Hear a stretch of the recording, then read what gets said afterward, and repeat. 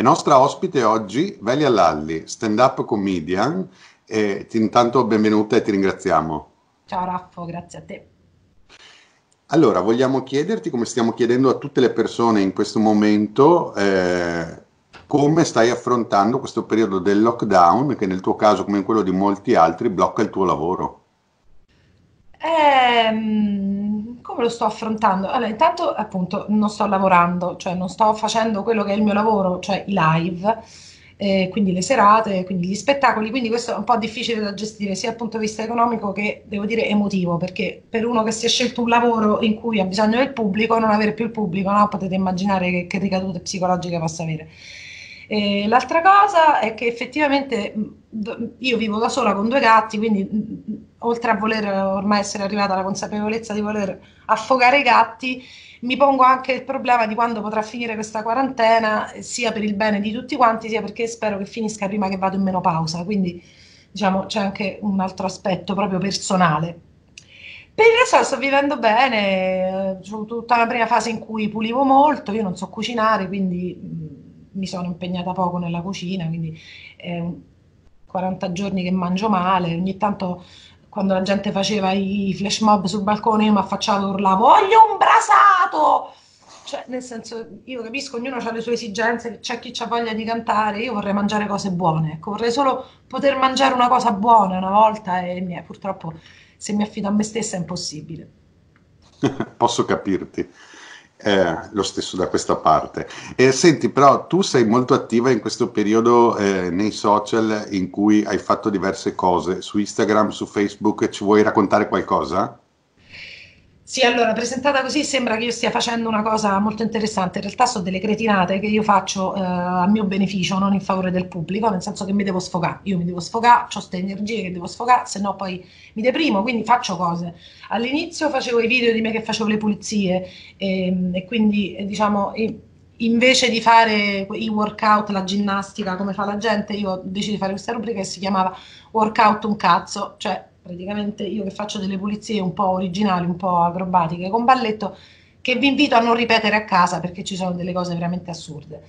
E, ehm, e questo workout un cazzo lo trovate su, sì, sulla mia pagina Facebook o sul profilo, non mi ricordo, eh, un po' a caso. Io poi sono talmente schiappa sui social che pubblico a caso, certe volte su Facebook, certe volte su Instagram. E poi ho fatto una rubrica invece, mh, questa è un, po' più strutturata, su Instagram che si chiama Una domanda sulla vita a Velia Lalli e siccome io ho parecchi mh, follower giovani, ho deciso di, diciamo, di, smettere di farmi scrivere in privato solo cose zozze e di convogliare le loro energie in una cosa più edificante, cioè mh, una serie di domande sulla vita che loro tra l'altro mi stanno facendo, fanno delle domande molto divertenti, molto carine, anche molto di senso, eh, a cui io rispondo un po' nel mio stile, diciamo, un po' cinico, un po' stronzo. Ecco. Eh, quindi abbiamo arginato i maiali ventenni, chiaramente in questo periodo sono molto più attivi i maiali cinquantenni sui social, e però nella rubrica c'è anche un pensierino per loro di solito in ogni puntata. E, e niente, poi partecipo ad, a, a, varie interviste, varie cose, varie dirette in cui mi invitano, insomma cerco di sentirmi un pochino meno sola, e, in parte ci riesco, in parte no. E poi c'è un video che adesso noi mandiamo e facciamo vedere ai nostri telespettatori.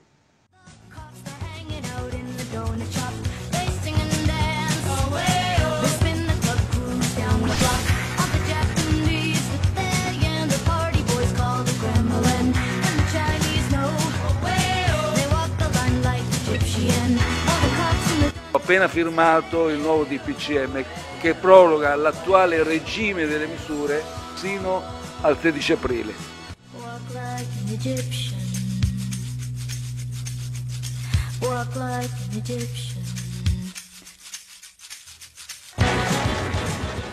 Ecco, questo video che tu hai realizzato quando eh, sono, è stato annunciato il prolungamento de, delle restrizioni, eh, come è stato realizzarlo?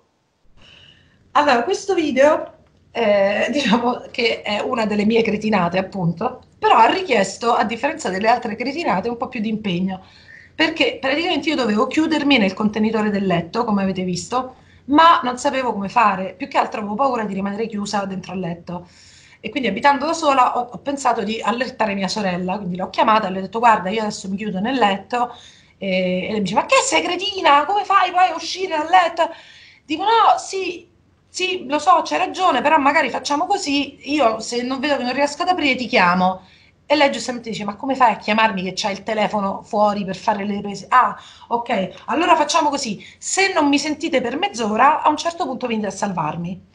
Solo che mia sorella giustamente a un certo punto mi ha detto: Ma guarda, adesso io devo uscire di casa dalla quarantena per venirti a salvare te che ti chiudi nel letto. Dice: Che ci scrivo io sull'autocertificazione? Pensa se mi fermano, io ci ho scritto: Sto andando a salvare quella cogliona di mia sorella che si è chiusa nel contenitore del letto giustamente. Quindi eh, la realizzazione del video ha dovuto, purtroppo, eh, si è resa un po' più complicata, quindi io ho dovuto chiudere nel letto al mio posto il mio piumino invernale avvolto nel lenzuolo. E, e, poi dopo fare un montaggio, insomma, che essendo io un po' una schiappa nel montaggio, mi ha richiesto un certo impegno. Quindi spero almeno che vi sia piaciuto. Io così ho passato un pomeriggio, diciamo, dandomi un, un'apparenza di, di lavoro e magari voi vi siete divertiti, chi lo sa.